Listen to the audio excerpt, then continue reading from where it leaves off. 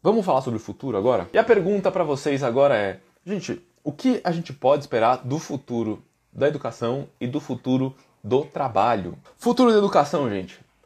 Gente, uma coisa que eu posso falar para você é que as faculdades estão desesperadas, né? Elas estão quase sem esperança.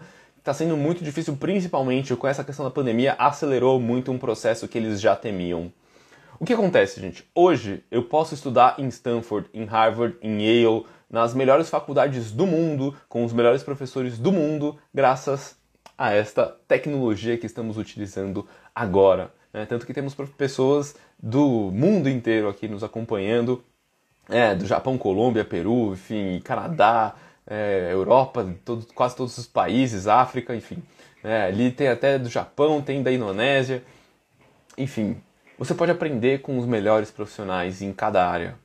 E isso está dando um baita baile nas universidades. As universidades hoje brigam para terem esses melhores profissionais, para que esses profissionais façam seus cursos online também.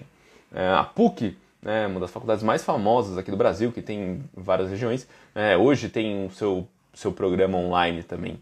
É, a, hoje eu já fiz vários, alguns cursos na Universidade da Califórnia, já fiz em Harvard e em Stanford também, cursos que hoje muitos são gratuitos. E aí, como é que você faz?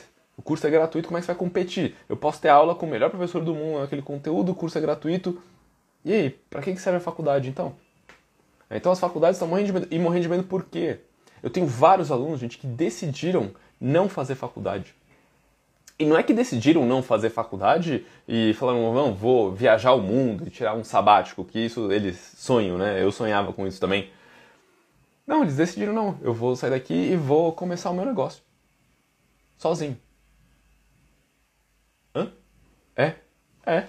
Não, vou tentar, tal, ó, tô com essa ideia, assim. E, gente, hoje a gente tem alguns casos de sucesso de empreendedores com 17, 18 anos.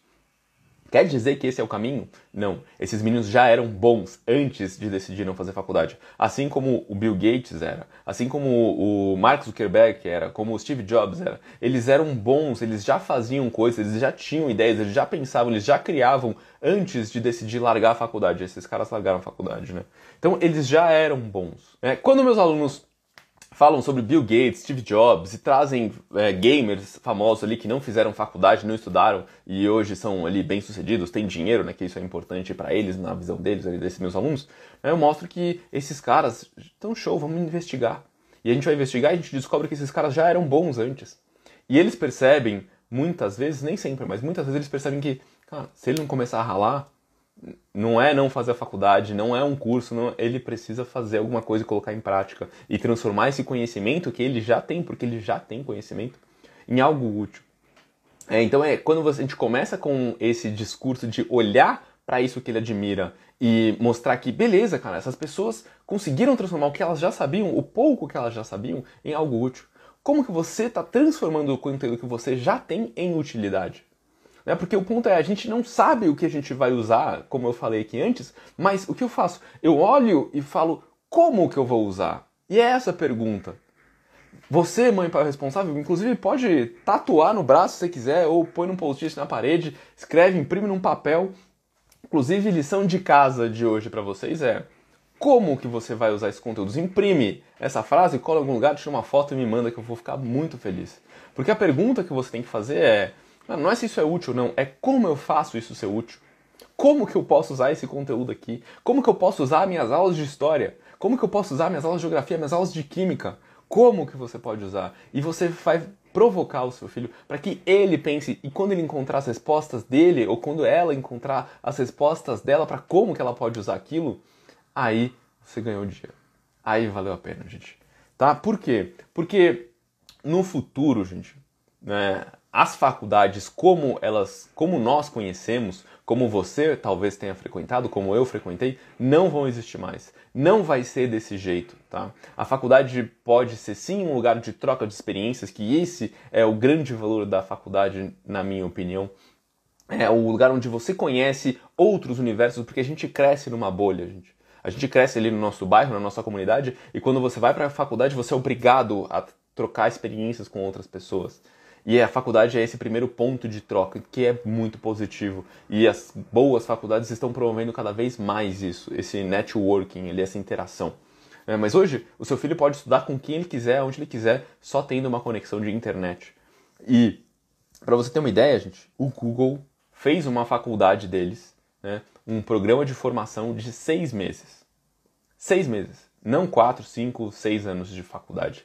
Um programa de formação do Google que, se você fizer, qualquer um pode fazer, acho que só precisa ter mais de 18 anos. Se você fizer, você ganha um certificado e pro Google esse certificado tem o mesmo valor que um diploma universitário.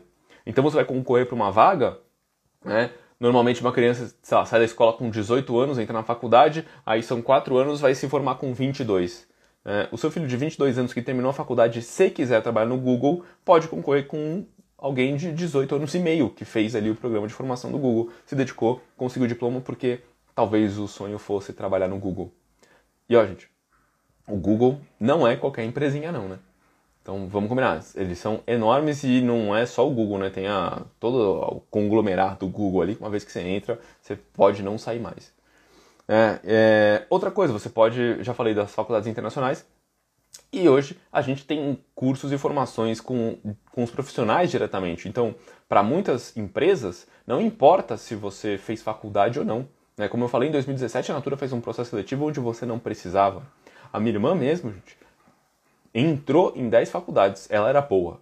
Ela é, ela é boa. Minha irmã é, assim, uma das pessoas mais dedicadas e estudiosas que eu conheço, assim, inteligentíssima. Né? Entrou em 10 faculdades, saiu de 9 né, decidiu continuar em uma e se formou recente até, é, ano retrasado que ela se formou. Ela tem três anos a menos que eu. Né? Minha irmã, ela decidiu não fazer faculdade até que ela viu que, ah, eu quero fazer um curso que é uma pós-graduação e a pós-graduação que ela queria só podia se ela tivesse graduação. Foi aí que ela fez uma faculdade. Ela fez faculdade não porque ela precisava, porque ela já trabalhava e já ganhava bem, mas ela fez a faculdade porque ela queria, porque ela queria fazer a pós. Né? Olha que loucura. Então, é, quando você olha isso, e minha irmã assim, não trabalhou em qualquer empresa, né, trabalhou em várias multinacionais, onde o que, que ela fazia, por que, que ela era contratada? Porque ela gerava resultado. Né? E assim, uma coisa que já me, vieram me perguntar antes em um dos empregos, primeiro, um dos primeiros empregos que ela teve, vieram me perguntar, Bruno, né, que era, tava trabalhando com um amigo meu, perguntou, Bruno, e aí, o que, que você acha, cara? Eu falei, cara, se você conseguir colocar um desafio que ela se sinta desafiada, você vai ter a melhor funcionário que você quiser. Se você der qualquer coisa para ela fazer, aí vai ser desperdício. E toda vez que consegue motivar a menina ali, dar desafios à altura, é, ela trabalha pra caramba. É. Dava para prever isso lá atrás? Não dava. Ela falou em algum momento para meus pais que não queria fazer faculdade? Não, ela queria. Ela entrou em várias, ela entrou nas melhores, inclusive. Ela decidiu não fazer. É, e quando a gente olha para o futuro do trabalho, eu já estou mudando para a parte do futuro do trabalho, Elatia Abate é uma das maiores profissionais de futuro do trabalho que existem, tá? Depois dá para procurar o nome dela no Google, tá?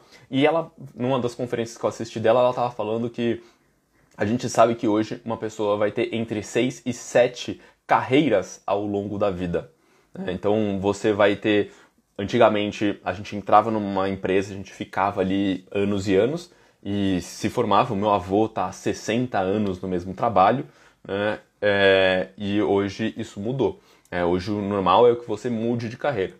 Antigamente as pessoas ficavam mudando de empresa, né, fazendo essa rotação que as empresas viram que não era saudável e hoje tem uma tendência do mercado de trabalho de mudar para que você faça uma rotação dentro da própria empresa. Então eu vou lá, eu, meu próprio caso, gente, eu entrei na Natura trabalhando na logística.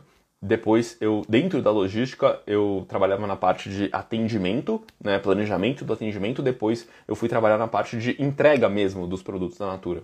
Depois, eu mudei para a parte de desenvolvimento de produtos. Ou seja, só na Natura eu tive três carreiras diferentes, trabalhei em três áreas diferentes que me formaram como profissional. Percebe? Então, o que o seu filho está aprendendo hoje, a gente não sabe se vai ser útil, principalmente porque essa rotação exige que ele tenha cada vez mais conhecimento.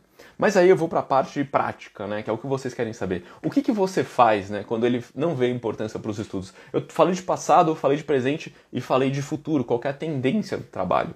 É, o que, que as pessoas esperam? Talvez a gente não precise mais de faculdade, talvez é, o seu filho tenha várias carreiras e a faculdade em si não vai definir qual que é essa carreira. Mas e aí, Bruno? Como que eu faço para mostrar a importância desse estudo para o futuro?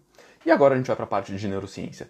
Gente, a gente falou de passado, presente e futuro, e agora eu quero mostrar sobre como que o nosso cérebro entende essas coisas, né? Primeiro que tudo que é passado, a gente... O que, que significa? A nossa memória tem a ver com... Quando eu relembro uma memória, eu estou ali ativando o mesmo circuito neural ou um circuito neural muito próximo daquele que eu ativei quando eu adquiri aquele conhecimento da primeira vez. Então, quando você lembra da sua melhor viagem, né, o seu cérebro tem estímulos neurais que passam pelo mesmo ponto, no, a, aciona a mesma circuitaria neural. Né? Não é aquilo que a gente aprende às vezes de ter caixinhas de memória, não é assim que funciona. É.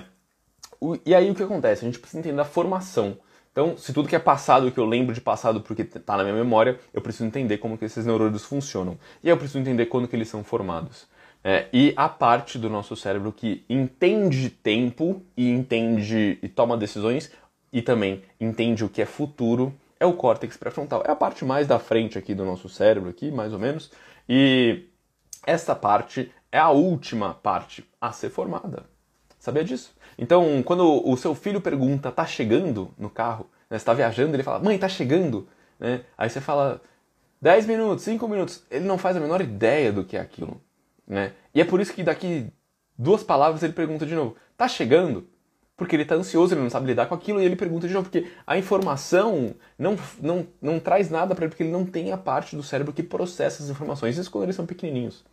Só que essa parte do cérebro que processa tempo só termina de se formar entre os 25 e os 28 anos.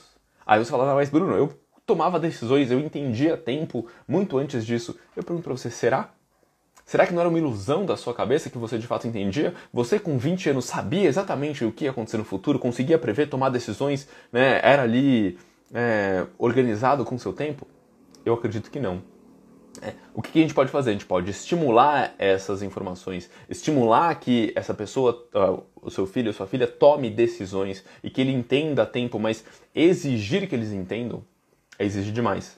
Né? É como você pegar uma pessoa cega e querer que ela veja alguma coisa. Você pode querer muito, você pode brigar, você pode colocar de castigo, gente. Né? Pode colocar de castigo o quanto que for, pode amarrar. Mas se a pessoa não tem ali, os seus olhos não foram formados, ela não vai enxergar.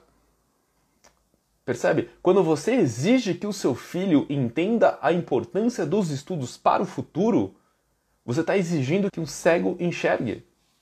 Ele não vai conseguir. Né? Então, se você quiser que o seu filho entenda a importância dos estudos para o futuro, pare de falar sobre o futuro. Fale sobre o presente, gente. O seu filho não vai, ou a sua filha não vai entender hoje a importância dos estudos para o futuro. Quando ele repete, ah, mãe, isso é importante para o futuro, ah, mãe, isso é importante para a faculdade, isso aqui é importante para o meu trabalho, ele está repetindo uma informação que ele aprendeu, mas ele não necessariamente entendeu. Né? Quem aqui sabe recitar o hino do Brasil? Você decorou, mas você já parou para interpretar o hino? Pouquíssimas pessoas, são pouquíssimas pessoas que sabem e são pouquíssimas pessoas que já interpretaram de fato o hino. Então você querer, você conseguir repetir uma série de informações não significa que você sabe. Eu sei contar até 10 em japonês, né? Significa que eu sei japonês? Não.